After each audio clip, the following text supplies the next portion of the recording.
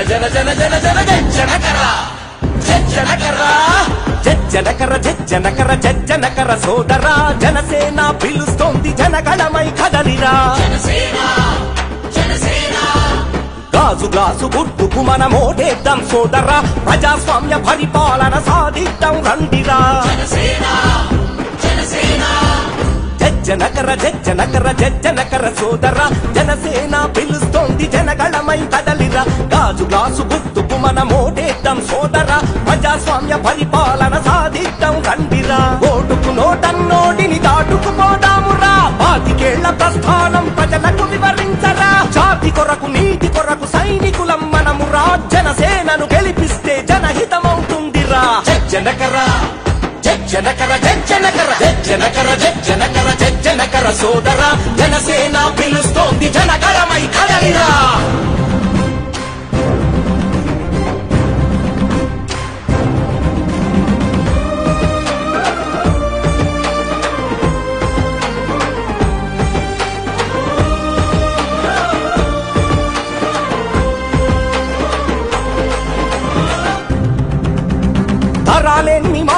మారుతున్న తలరాతలు మారలే.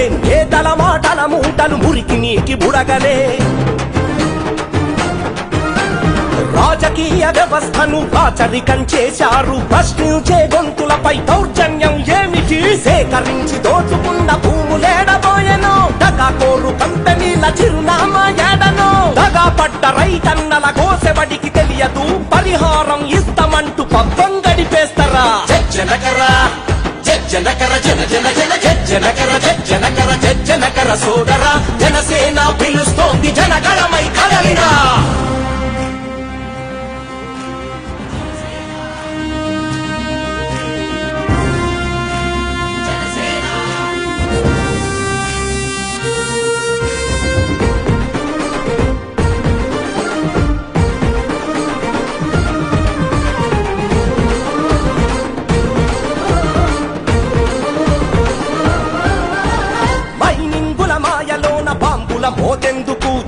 జాతి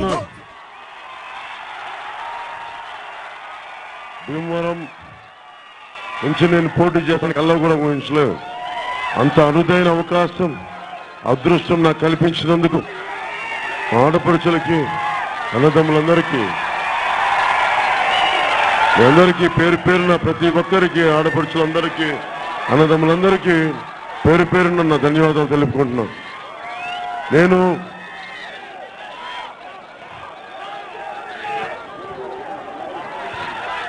ఈ పోలీస్ సెంటర్లో నేను ఇది మాట్లాడటం ఇది మూడోసారి. దారిలో వస్తా ఉంటే పొద్దున చాలా మంది అడిగారు. నాకు రాజకీయాల్లో మార్పు రావాలి అని కోరుకునేవాడిని చాలా బలంగా కోరుకునేవాడు చిన్నప్పటి నుంచి ఒకటే కలగన్నాను. సామాన్యుడు బతికే సమాజం కావాలి. నాకు ఒక ఎమ్మెల్యే తెలిస్తేనో ఒక అధికారి తెలిస్తేనో నాకు పని అవ్వకూడదు. నాకు ఎవరు తెలిసినా తెలియకపోయినా నాకు నా- నా కాళ్ళ మీద నేను బతకగలిగే సమాజం కావాలి నేను అలాంటి కలలుగాను పెద్ద నటుడై నేను సూపర్ స్టార్ అవ్వాలి కలగలనా వేల కోట్లు రావాలని కలగలనా ఒక సామాన్యుడు బతికి సమాజాని కోసం నేను నిజంగా కలగలను అందుకే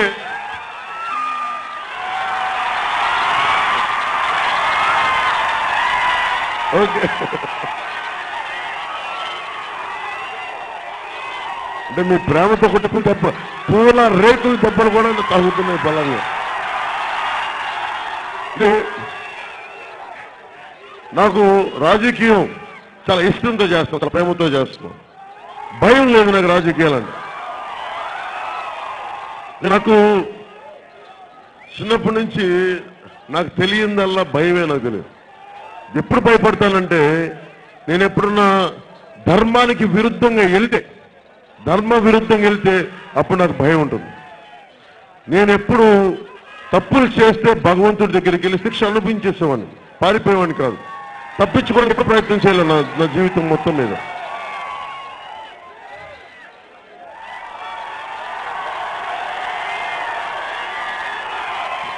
అంటే నేను షార్ట్ కట్స్ ఎతకను జీవితంలో. దగ్గర దొడ్డిదారులు ఎతకను జీవితంలో.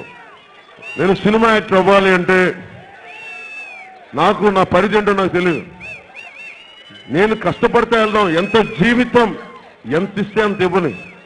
నేను గుడి మెట్ల దగ్గర ఉండే యాచకుడు నేను భగవంతుడు నా కష్టం ఎంత కష్టపడడానికి నా చేతులు ఎంత ఇస్తాడో దాన్ని సిద్ధపడిపోతాను. నేను దొడ్డిదారి ఎత్తగను దగ్గర దారి ఎత్తగను కష్టమైన నష్టమైన మంచి ధర్మధర్మైతే ధర్మద్వారం ద్వారా వస్తాను. దొడ్డి ద్వారం ద్వారా రాను. జగన్మోహన్ రెడ్డి గారి లాగా కేసీఆర్ గారి దగ్గర దొడ్డి ద్వారం ద్వారా రాను మధ్యన చంద్రబాబు గారు నా గురించి ఆ నియోజకవర్గం ఏంటది? కుప్పంలో కుప్పం నియోజకవర్గంలో చంద్రబాబు గారు నా గురించి మాట్లాడుతూ పవన్ కళ్యాణ్ ఆంధ్రప్రదేశ్కి కొత్తగా వచ్చిన అల్లుడు. అతనికి అత్తారింటికి దారి తెలియ తెలియకుండా తిరుగుతున్నాడు అని నాకు అనిపించింది ఎవరన్నా కన్న తల్లిని కన్నపుని అత్త అనుకుంటావా తల్లి అనుకుంటావా? నాకు ఆంధ్రప్రదేశ్ తల్లి చంద్రబాబు గారికి అత్తగారు. నాకు అనిపించింది నా అల్లు అంటే అల్లుడిని తక్కువ చేయడం కాదు కానీ అల్లుడు తీసుకెళ్తాడంటారు కొడుకు నిలబడతాడంటారు నేను నిలబడే కొడుకును ఆంధ్రప్రదేశ్కి. తెలుగు తెలుగు నేను నిలబడే కొడుకు. చంద్రబాబు గారు తను చెప్పకనే చెప్పారు. నేను అల్లుడిని కొడుకుని కాదని. నేను చెప్తున్నాను నాకు ఏముందని చెప్పి ఎందుకు నేను రోడ్ల మీదకి రావాలంటే అరే సగ- సగటు మనిషి బతకాలి సమాజంలో. ఒక అర్బన్ బ్యాంకులో నేను డబ్బులు వేసుకున్నానండి నా పిన్న. నేను కని శ్రీనివాస్ గారిని తగ్గించాలో ఆయన చిన్నపుచ్చాలో నా ఉద్దేశం కాదు. మేబీ వాళ్ళందరూ మంచి వాళ్ళు అయిండొచ్చు గొప్ప వాళ్ళు అయి- అయిండొచ్చు నేను దాన్ని కాదంట్లా కానీ అర్బన్ బ్యాంక్ అనేది దేనికండి చాలా మంది నాకు తెలిసి మన వీరవాశ్రంలో కూడా అన్న నువ్వు అర్బన్ బ్యాంక్ గురించి మాట్లాడంటే నేను నా చెల్లికి పెళ్ళి చేయించడానికి నేను చిన్నపాటి ఉద్యోగిని నేనేం చేయాలి? డబ్బులు దాచుకొని అర్బన్ బ్యాంక్ పెట్టుకుంటాను. అలాగే ఒక రిటైర్డ్ స్కూల్ టీచరు ఉద్యోగి ఒక ఐదారు లక్షలు దాచుకుంటాడు. పెన్షన్ వస్తేమో చిన్నపాటి భీమవరం. ఇక్కడ ఏదో ఒక ఐదు వేలు వస్తే వడ్డీ అచ్చడికి వడ్డీ వస్తుందని చెప్పి ఒక ఆశ ఉంటుంది మనిషికి. ఎందుకంటే జీవిత భద్రత లేని సమాజం కదా. ఇలాంటి వాళ్ళకి అర్బన్ బ్యాంకులో పెట్టుకుంటే ఊహించుకున్న ఒక రోజున వాళ్ళు అర్బన్ బ్యాంక్ దివాలా తీసేస్తే వాళ్ళందరూ లక్షలాది మంది పోతే ఏమైపోయారు? అన్ని కోట్ల రూపాయలు పోతే తిరిగి మర్చిపోయారు అందరూ. పది సంవత్సరాలు అయిపోయింది మర్చిపోయారు. కానీ ధర్మం ఎలాంటిదంటే నువ్వు శతాబ్దాలైనా మర్చిపో కానీ ధర్మం ధర్మం శిక్షించి తీరుతుంది. భారతదేశం ఇంకా బతికి ఉంది అంటే ఆ ధర్మం వల్లే బతికుంది. భీమవరం భీముడి తాలూకు వరం ఇది. అందుకే ఇది భీమవరం అయింది భీముడు దేనికి నిలబడ్డాడు? ధర్మానికి నిలబడ్డాడు. ఆ, ఇప్పుడు కర్ణుడు చాలా గొప్పవాడు. కాదంట్లో మంచి సుగుణాలు. కానీ నువ్వు ఎవరి పక్షం ఉన్నావు? ఎవరి పక్షం ఉన్నావు? ఒక నిండు సభలో ఒకరి భార్యని బట్టలు ఒలిపించి చూస్తే కర్ణుడు పాడే కానీ అలాంటి కర్ణుడు కూడా తప్పని చెప్పలేకపోయాడు. ఆ ఒక్క చేసిన అధర్మానికి కర్ణుడు నిజంగా అధర్మానికి చంపి చచ్చిపోవాల్సి వచ్చింది కర్ణుడు. అంటే ధర్మం భారతదేశం అంతా చాలా బలమైంది. మీరు ఎలా పడితే అలా ధర్మాన్ని ఇష్టరాజ్యంగా పడేస్తారంటే కుదరదు. జీసస్ క్రైస్ట్ జీవితాన్ని చూడండి. నేను చాలా మంది నేను మతాల గురించి ఎక్కువ చెప్పను. నేను హిందువా క్రిస్టియన్ ముసల్మాన్ అని చెప్పను. నేను నేను ఒక మతంలో పుట్టుండొచ్చు నేను. కానీ నేను అన్ని మతాలని సమానంగా చూడగలిగేవాడిని. నా సొంత బిడ్డలు ఇద్దరు నా సొంత బిడ్డలు ఇద్దరు రష్యన్ ఆర్థడాక్సీ చర్చికి తీసుకెళ్ళి వారికి నామకరణం చేసి వారిని చేస్తే నేను ఎందుకు ఒప్పుకోగలిగానంటే అది నాకు భారతదేశం నేర్పించిన సంస్కారం అది. దేవుడు యహోవా కానీ అల్లా అని చెప్పు ఈశ్వర్ అని చెప్పు అల్లా అని చెప్పు యహోవా అని చెప్పు మొత్తం నువ్వే కదా సర్వంతర్యామివి. అది భారతదేశం తాలూకు గొప్పతనం. నిజానికి భారతీయ జనతా పార్టీ నాయకులే హిందూ హిందూ హిందువులు మాట్లాడుతూ ఉంటారు. మరి అలాంటి వాళ్ళు జగన్మోహన్ రెడ్డి గారిని ఎందుకండి సపోర్ట్ చేస్తారు? ఏడుకొండల వెంకటేశ్వరుడికి చెప్పులేసుకుని వెళ్ళాడు జగన్మోహన్ రెడ్డి. మరి మీకు అర్థమవుతుందా? భారతీయ జనతా పార్టీ ఎంత హిపోక్రసీ పార్టీయో వాళ్ళు దమం లేదు పాడు లేదు వాళ్ళు చేయాల్సిందల్లా ఏంటంటే అధికారం కావాలి ఎట్టి పరిస్థితులైనా సరే. పవన్ కళ్యాణ్ ఏమి ఆశించకుండా మీకు వచ్చాడే? అలాంటి పవన్ కళ్యాణ్ కూర్చోబెట్టి ఏమంటారు? నువ్వు వచ్చి మాతో కలిసిపో అంటారు. అరే మీతో భారతీయ జనతా పార్టీ కలవడానికి ఏ నాకు వ్యక్తిత్వం లేదనుకున్నా మీరు? అరే చచ్చిపోతాం. అంతేగాని కూర్చోబెట్టి అడ్డగోలుగా మేము అలా పార్టీలు కలిపేయం మేము. ఏం దిగొచ్చామనుకుంటున్నారా మీరు ఒక్కొక్కళ్ళు? ఈ దేశంలో ధర్మం చే- నాకు ఒకటే అనిపిస్తుంది. నేను నరేంద్ర మోదీ గారంటే గౌరవం ఉంటుంది నాకు భయాలు ఉండవు. నేను ప్రధానమంత్రి అయితే ఎందుకు భయపడతాను నేను? ఇది ఎందుకంటే భీమవరాన్ని రెండవ బర్డోలి అసలు బర్డోలి అనేది మీకు చాలా మందికి తెలిసి ఉండొచ్చు కొద్దిమంది కొత్త తరగతి ఉండకపోవచ్చు. బర్డోలి అనేది పంతొమ్మిది వందల ఇరవై ఎనిమిదిలో అప్పటి బాంబే బ్రిటిష్ పాలన ఉండేవాళ్ళు బాంబే స్టేట్ అప్పుడు బ్రిటిష్ పాలన బ్రిటిషర్లు బ్రిటిషర్లు పటోలీలో రైతులకి విపరీతమైన కరువు కాటకాలు వచ్చి అసలు తినడానికి తిండి గింజలేని సమయంలో ముప్పై శాతం ట్యాక్స్ ఇవ్వాలని చెప్పారు. రైతులు మొదలున్నారు అరే అసలు తినడానికి తిండులు లేవు మేము ట్యాక్స్ ఎక్కడ కట్టమంటే? అప్పుడు వెళ్ళి ఏం చేయాలి తెలియక సర్దార్ వల్లభాయ్ పటేల్ దగ్గరికి వెళ్ళాం. అసలు సర్దార్ అనే పేరు ఎందుకు వచ్చిందో అప్పుడే పటేల్ ఉత్త పటేల్ ఆయన వల్లభాయ్ పటేల్ ఆయన పేరు. ఆయన దగ్గర చూస్తే ఆయన రైతులు తరపున వెళ్ళి బాంబే ప్రభుత్వానికి లెటర్ రాశాడు ఆకలి అలమంటలు చచ్చిపోతున్నారు మళ్ళీ మీరు ట్యాక్స్ ఇవ్వకూడదు. మీరు ట్యాక్స్ ఎగ్జామ్షన్ ఇవ్వండి అంటే వాళ్ళు ఒప్పుకోవాలి. ఇంకా ఒప్పుకోకపోగా వెంటనే పది రోజులు టైం కూడా ఇచ్చారు. ఈ పది రోజులు మీరు కట్టాలని చెప్పి. అలాంటి సమయంలో గాంధీజీ గారు అడిగితే గాంధీజీ గారు ఏం చెప్పారంటే మేము మనం డైరెక్ట్గా పాల్గొనొద్దు. రైతులకు అండగా ఉందని చెప్తే రైతుల చేత అసలు హింస లేకుండా పోరాటం చేయించారు. చేయిస్తే ఒక సంవత్సరం కాలం పోరాటం నడిచింది. దానికి పటేల్ గారు అండగా ఉన్నారు రైతులకి. ఇంకా ఎట్టికేలకు దిగొచ్చారు వేరే దారి లేక హింసాయుతం కాకుండా ధర్మ మార్గాన అసలు సత్యగ్రహ సత్య మార్గాన్ని వెళ్ళి అహింసాయుత మార్గాన్ని వెళ్తే ప్రభుత్వం దిగి వచ్చి అప్పటికి వేలాలు కూడా పెట్టేశారు ఆ భూముల్ని. కొనటానికి బాంబే నుంచి కొంతమంది డబ్బున్న వాళ్ళు కూడా వస్తే ఆ డబ్బున్న వాళ్ళు కొనేసుకుంటే ఒక్కళ్ళు సంఘటన చేశారు. ఆకలి తొలమటిస్తున్న పేదలు భూములు మీరు కొనడానికి వచ్చారా? ఈ బాంబే నుంచి వచ్చినాయి అంటే వాళ్ళు కూడా కొంతమంది కొనేసి వెనక్కి వెళ్ళిపోయారు. తర్వాత ఇంక ఎట్టి కేలకు వీళ్ళ పోరాట పటిమ చూసి బ్రిటిష్ ప్రభుత్వం కూడా వదిలేసింది. వదిలేసి ముప్పై శాతం వాళ్ళకి ట్యాక్స్ని కట్టదని చెప్పి ఇంకొక నెక్స్ట్ సంవత్సరం కూడా కట్టాల్సిన అవసరం లేదని చెప్పి అసలు ముందు ఉప్పు సత్యాగ్రహానికి నాంది బర్డోలి.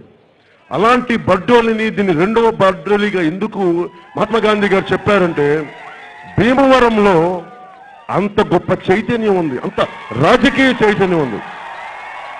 ఈ రోజున నేను భీమవరంలో నిలబడుతున్నానంటే ఈ రోజున నేను మీకు చెప్తున్నా.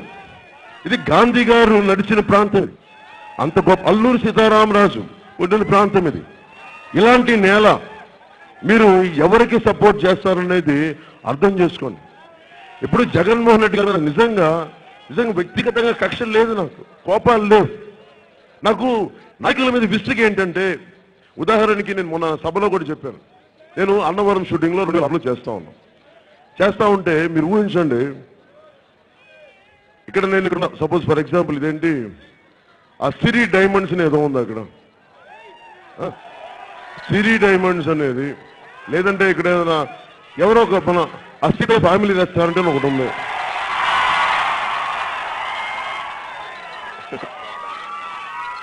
ఇప్పుడు సీతయ్య ఫ్యామిలీ రెస్టారెంట్ ఉంది.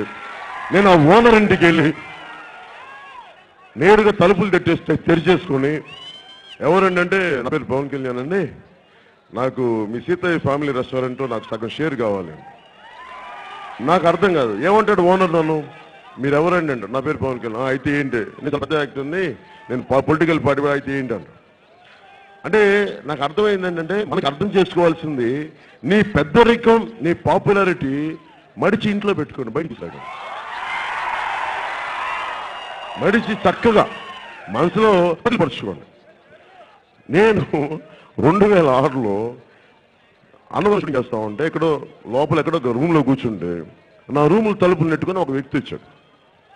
వస్తే ఆయన పేరు రవీంద్ర రెడ్డి అని నాకు అర్థం కాలే ఎవరండి ఈయన అన్నా? ఎవరండి అని అడిగా. నేను కడప మేయర్ అండి నా పేరు రవీంద్ర రెడ్డి అంటే అలాగా సార్ నమస్కారం. నాకు అర్థం కాలే. నా రూమ్లోకి నేను ఇంట్లోకి సడన్గా ఎలా- వచ్చేస్తానండి? సా- సాంప్రదాయ పద్ధతి కదా తలుపు తడుతాం. నేను రావాలా లేదని అడుగుతాను అపాయింట్మెంట్ తీసుకుంటాను. అంటే వచ్చి ఆ ఏం కావాలండి? అంటే నాకు నువ్వు సినిమా చెప్పాను దేనికేనా అడిగా. నేను చేసేదే అన్నవరం. రవిదానికి వ్యతిరేకంగా. మళ్ళీ అలాంటి సినిమాకి వచ్చి నువ్వు సినిమా చేయాలంటే నేను నాకు ఎంత డైలమా అనిపించిందంటే మీరుండగా నా ఆరోగ్యం బండం బంగారంలో అంటే నాకు ఆ రోజు అనిపించింది నేను ఏదో చెప్పాను నేను అలా సినిమాలు చేయనండి మీరు ఇష్టమైతే పద్ధతిగా మీరు అడగండి వస్తాను అంతేగాని ఇలా మీ రూమ్లోకి వచ్చేసి నేను అలా సినిమాలు చేయనండి అని నవ్వుతో చెప్పి పంపించేశాను. వాళ్ళు నమస్కారం పెట్టి వెళ్ళిపోయారు అనుకున్నది వేరే సంగతి. నాకు నాకు అర్థం కాంది నాకు ఆ రోజున స్ఫురణకు వచ్చింది. ఒక ఒక నిమిషం ఒక నిమిషం ఒక నిమిషం. ఆ రోజు స్ఫురణకు వచ్చింది ఏంటంటే నాలాంటి వ్యక్తి లక్షలాది మంది ప్రతి జిల్లాలో ఇన్ని కోట్లాది మంది ప్రజల అభిమానం చూరుకున్నవాడిని నా రూమ్లోకి వచ్చి నన్ను బలవంత పెడితే నేను భయపడాలా ఎదిరించాలా నాకే మేము చూస్తే సామాన్యులకి ఇప్పుడు రేపొద్దున ఇప్పుడు గంధి శ్రీనివాస్ గారు వ్యక్తిగతంగా గంధి శ్రీనివాస్ గారు నచ్చిన వ్యక్తులు నాకు సీతా రెస్టారెంట్ నాకు షేర్ కావాలంటే ఏం చేస్తారంటే ఆ ఓనర్ ఏం చేస్తారు? సామాన్యుడైన ఒప్పుకుంటామా మనం? ఆయన ఏమంటాడు? ఒప్పుకో అంటే ఆయన చేస్తాడు కదా ఒక హైపోథిటికల్గా అంటే ఒక ఒక చిన్న ఒక ఊహ. ఇలాగా నాకు విసుగు ఏంటంటే మీరు గొప్పవాళ్ళు కావచ్చేమో గొప్ప ఎమ్మెల్యేలు కావచ్చేమో గొప్ప రాజకీయ నేపథ్యం ఉన్న వ్యక్తులు కావచ్చేమో కానీ మీ జులుం మీ దౌర్జన్యం మడిచి ఇంట్లో పెట్టుకొని బయటికి తీసుకురాక. చిరాకు. గొప్పవాళ్ళు కావచ్చేమో మీరు. మేము సామాన్యులం. మనకి ఇంద్రాలో ఒక డైలాగ్ ఉంటుంది. మొక్కే కదా అని పెరిగితే పీక్కొస్తాం ఆ నిజ జీవితంలో పీకలు కోయలేం కానీ పీకలు కోయలేం కానీ ఓటు అనే తాటుతోటి కింద మొత్తం కింద లేపేస్తాం మొత్తం. దుర్మార్గులు ఎవరంటే అందుకనే సామాన్యులు దయచేసి ఎనీ రాజకీయ వ్యవస్థ నాయకులు కావచ్చు గొప్పోళ్ళు కావచ్చు ప్రధానమంత్రి కావచ్చు ప్రధానమంత్రి గారితో కూడా నా కంప్లైంట్ ఏంటండి? అరే మిమ్మల్ని ఇంత ప్రేమించి ఎన్నుకున్నామే ఎవడొచ్చాడు దక్షిణ భారతం నుంచి? ఇంత అండగా మీకు ఉన్నాం కదా ఉంటే నాకు ప్రధానమంత్రి నరేంద్ర మోదీ గారు నచ్చంది.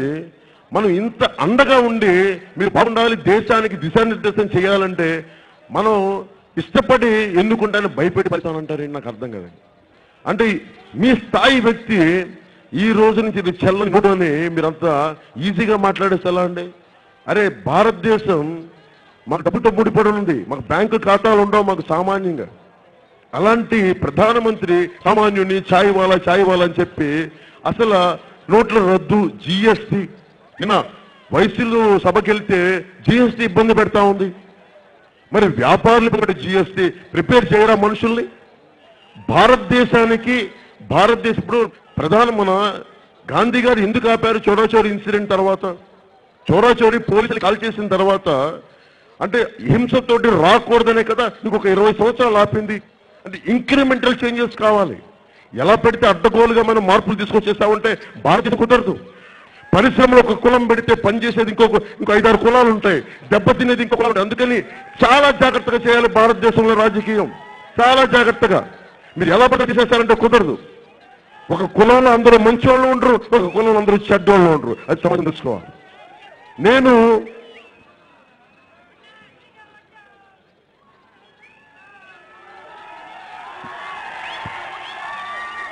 ఇప్పుడు సో నాకు అనిపించింది ఆ రోజున ఇప్పుడు రవీంద్ర రెడ్డి వచ్చారు. నాకు అనిపించింది ఏ, ఏదో నాకు క్రికెట్ లాగా తయారైంది. మీరు ఇస్తారో నేను పట్టుకోను. ఆపండి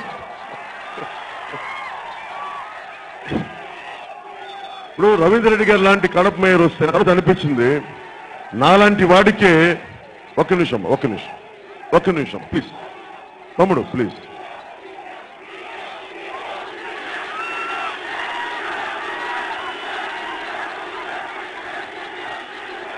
మీరు ఇక్కడ గోల్ చేయడం కాదు. ఇప్పుడు గాంధీ శ్రీనివాస్ అంటే మన తెలుగుదేశం ఎమ్మెల్యే అని పేరేంటి? బుజ్జి గారు. అంజుబాబు. ఎక్కువ బుజ్జీలు అంజుబాబులు ఎక్కువ ఇప్పుడు ఏ బుజ్జో ఏ అంజుబాబు తెలియదు అంజుబాబు గారు మన యువతని బెదిరిస్తున్నారంట. నేను చెప్పాను ఇదంతా తిప్పి కూడా చెప్పండి వంద మంది ఉంటారా? ఐదు వందల మంది ఉంటారు? వెయ్యి మంది మీరు ఎంతమంది ఉన్నారండి వేల మంది ఉన్నారు.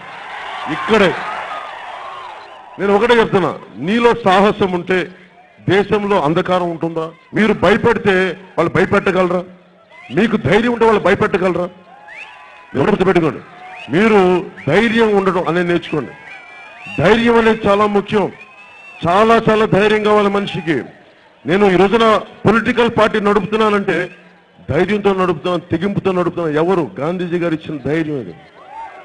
ఏమీ లేకుండా ఇందాక మార్నింగ్ సర్వమత ప్రార్థన చేస్తున్నప్పుడు ఒక పాస్టర్ గారు ఒక యంగ్ పాస్టర్ ఒక యంగ్ పాస్టర్ చాలమ్మా ఇంకా ఒక యంగ్ పాస్టర్ నాకు చెప్పింది జీసస్ క్రైస్ట్ సమాజానికి ఎలా పనిచేశాడు చాలా ఆవేదన జీసస్ క్రైస్ట్ ఆయన చెప్తుంది ఆ యంగ్ పాస్టర్ చెప్తా ఉంది. ఆయన చాలా బలమైన సోషలిస్ట్ జీసస్ క్రైస్ట్ బలమైన మార్క్సిస్ట్. అప్పుడు మార్క్సిజం అనే పదం లేదు కానీ సర్వ మానవులను సమానంగా చూడాలని పోరాటం చేసినాడు ఆ ప్రాసెస్లో సిలువు కూడా కొట్టించేస్తున్నాడు చంపేయని పర్లేదు కానీ నేనమైతే నా ధర్మాన్ని మాత్రం చెప్పాడు జీసస్ క్రైస్ట్. అలాంటి భారతదేశం మనం భయపడతానంటే ఎట్లా మనం? అలాగే మ- మనం భయపడద్దు. దేనికి భయపడకండి? భయపడే మార్పులు రావు.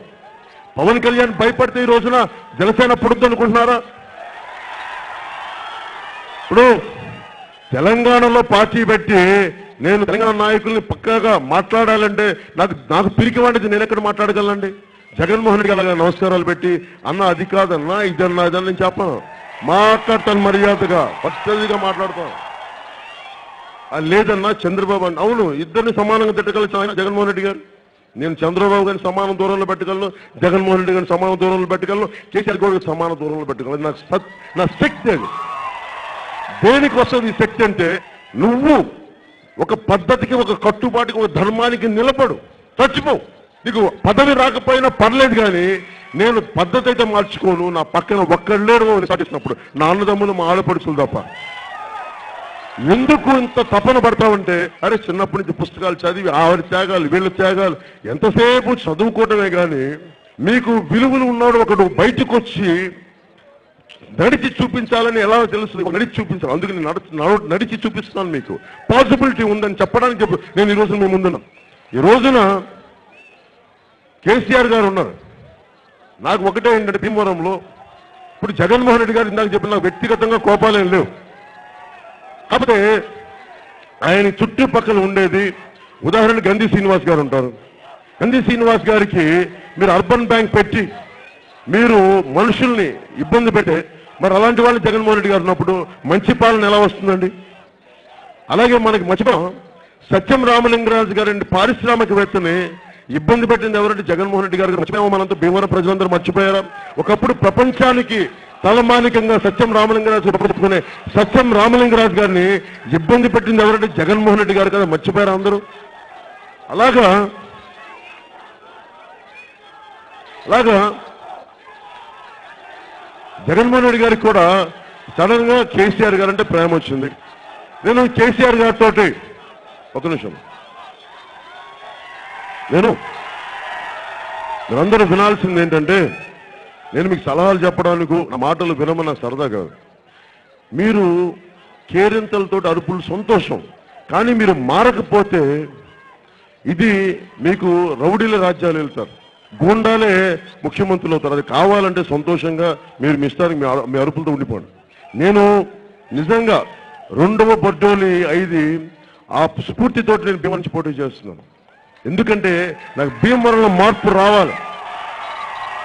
భారత్ అంటే ఎక్కడో గుజరాత్లో బర్డోలీలో చేస్తే దేశంలో ఎలా మార్పు వచ్చిందో మన భీమవరంలో కానీ మార్పు వస్తే మొత్తం దేశం అంతా మార్పు వస్తుంది. ఎందుకంటే మన భీమవరం ఒక మినీ మినీ ఇండియా. ఇది. ప్రపంచం మొత్తం వెళ్తుంది. భీమవరంలో మీటర్ నొక్కితే ప్రపంచంలో అన్ని దేశాలు మీటర్లు కదులుతాయి. మొత్తం కదులుతాయి. అందుకని భీమవరాన్ని మనం పుట్టడం మన ఇక్కడ ఉండడం అదృష్టం మారుద్దాం. నేను ఇన్ని ప్రాంతాలు తిరిగాను. ఇక్కడ ముస్ ఇస్లాం మతస్థుల్ని కలిస్తే ఎంతసేపు స్వర్గం బయట ఉంటుంది అటు ఉంటుందని చెప్తే జన్ స్వర్గం అనేది తల్లి పాదాల దగ్గర ఉంటుందని చెప్పి ఇస్లాం మతస్థులు నాకు మన భీమవరం చెప్పారు. అంత గొప్పది భీమవరం. అలాంటి మహానుభావులు ఉన్నారు భీమవరంలో అలాగే నేను మా చిన్నప్పటి నుంచి మా ఇంట్లో చాలా రకాల మత గ్రంథాల మాకు పఠనం ఉండేది. మా నాన్నగారు చేసేవాళ్ళు. సో నాకు మా టీచర్ చెప్పిన పాఠం గుర్తుండిపోయింది. బైబిల్లో చాలా గొప్ప సూక్తి తనని తాను తగ్గించుకున్నవాడు హెచ్చింపబడును. అలాగే తనని తాను హెచ్చింపబడ్డవాడు తగ్గింపబడినది. అంటే ఎందుకు అసూక్తి ఉంటుందంటే నువ్వేం సాధించావని. పంచభూతాలు నీకు నీ తల్లిదండ్రులు జన్మనిస్తే పుట్టిన వాడివి అలాంటిది చచ్చిపోతే పంచభూతాలు వెళ్ళిపోయే వాళ్ళం. నీది ఏముందని ఇక్కడ? ఉన్న దాంట్లో ఎంతో సన్మార్గం ఏదైనా సేవనైతే సేవ చేయి లేదంటే వదిలే. అంతేగాని కూర్చోబెట్టి ఇన్ని వేల కోట్లు. గంధి శ్రీనివాస్ గారికి ఏం అవసరం? అంత డబ్బు. ఎంత తింటారు ఆయన? అనారోగ్యం రావా మనుషులకి? ఎన్నిసార్లు మనుషుల్ని పీడించి పీడించి డబ్బులు తిని బెదిరించి బెదిరించి ప్రేమతో ఎందుకు మీరు మనుషుల్ని దగ్గర తీసుకోరు? ద్వేషం ఎందుకు భయపెడతారు? నాకు మన రాజకీయ వ్యవస్థ మీద ఇది కోపం. భారతదేశం ఎలాంటిదే మీరు భారతదేశాన్ని ఎప్పుడు మీరు కాంకర్ చేయలేరు. భారతదేశాన్ని ప్రేమతోటి దగ్గర తీసుకోగలం తప్ప మీరు మా మీద ఆధిపత్యం మీరు ఎమ్మెల్యే కావచ్చు ఎమ్మెల్యే అమ్మ మొగుడు కావచ్చు కానీ ప్రధానమంత్రి గారు కూడా కావచ్చు. కానీ ఒకటి చెప్తున్నాను మీరు దేశ ప్రజల్ని ప్రేమగా చూస్తేనే ప్రేమగా ఉంటారు. అది భీమవరం ప్రజలు కావచ్చు గాజువాక ప్రజలు రాష్ట్రం తెలంగాణ కూడా కావచ్చు. ప్రేమతో ఉంటేనే ప్రేమ స్పందిస్తే తప్ప మీరు భయపెడతారంటే ప్రతి ఒక్కరు ఒక భగత్ సింగ్ అయిపోతారు. ప్రతి ఒక్కళ్ళు ఒక ఝాన్సీ లక్ష్మీరాణి అయిపోతారు.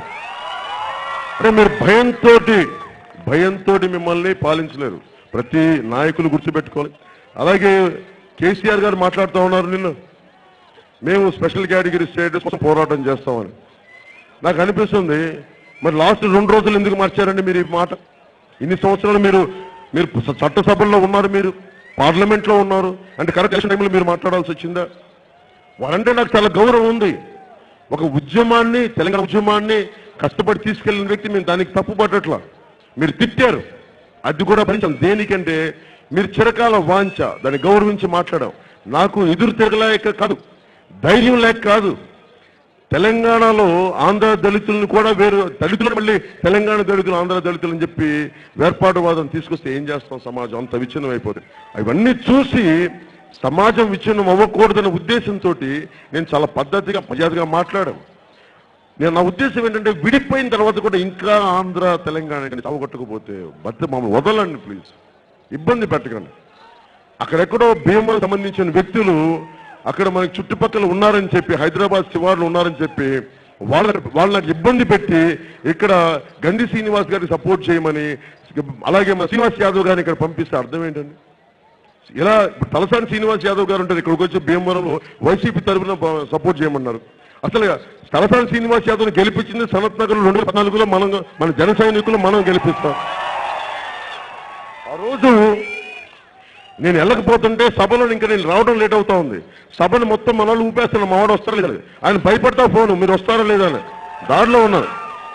వీళ్ళు వచ్చి మన పేరు చెప్పుకొని గెలిచి ఈ రోజున భీమవరంకి వచ్చి మీరు వాళ్ళు సపోర్ట్ చేయమంటే మీరు మా గట్టున మొత్తం మా తిండి తిని మీరు ఆ గట్టున ఆ గట్టుకెళ్ళి సపోర్ట్ చేస్తాం. ఏం మాట్లాడుతాం తలసాని శ్రీనివాస్ యాదవ్ గారు అలాంటి వాళ్ళకి? అందుకని ఏదైనా మాట్లాడితే ఇదే తలసాని శ్రీనివాస్ గారు. కేసీఆర్ గారిని ఎలా తిట్టాడంటే నా ముందు నేను చెప్పలేను అంత తిట్టాడు. అలాగే దయాకర్ గారు ఎంత తిట్టారో అంత అంత తిట్టారు మరి వీళ్ళు కలిసిపోయారు. ఈ రోజున తెలంగాణ కోసం ఏ యువత అయితే చచ్చిపోయారో పాపం వాళ్ళు రోడ్ల మీద ఉన్నారు. కానీ తెలంగాణ కోసం అవకాశవాదం రాజకీయ నాయకులందరూ ఈరోజు ప్రభుత్వాలు ఉన్నారు కాంగ్రెస్ గారు ఇంకొకరు గారు.